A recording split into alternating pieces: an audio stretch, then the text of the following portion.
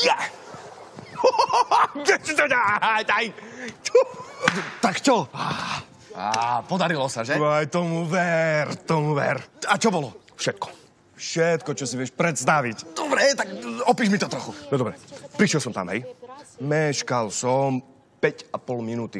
No. Jak si mi hovoril, hej? No, Ona nevedela, čo so sebou. No tak na začiatku ešte som hral takého tvrďasa, ne? To nech, devčatko sa posnáži. Aha. Ona povedala tri vety, ja len jednu. Super. No, tak, jak si povedal.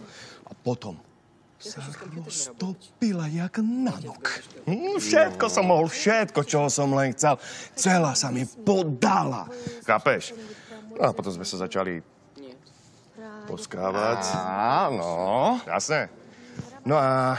A? Podarilo sa to. Počkaj, super, no a? No však ti vravím, že sa to podarilo. No, podarilo sa to, čo je to?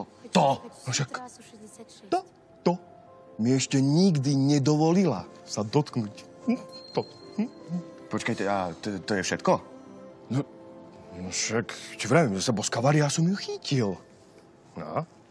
Za to, to. Mhm. Si ty normálny? Tak ty tam máš nažalenú babenku, hej, úplne na zlatom podnose a ty jej spravíš to, to? Nie. Mamografiu? To ne. Toto je fakt. Mamografiu?